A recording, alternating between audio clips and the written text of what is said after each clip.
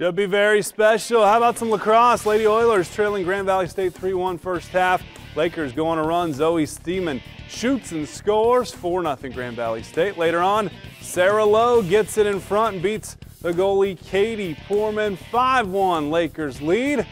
And Valley threatening again. This time nice save by Poorman. That looks like a goal. Nope, save. But more Lakers pass inside of Nikki Jacobs. She bounces it in. 9 to 1 on six straight goals. Findlay would have an answer. Kira Bradley takes it herself. She will beat the goalie here. Nice job on the bounce. Findlay does fall 19 to 8 in the GLIAC matchup.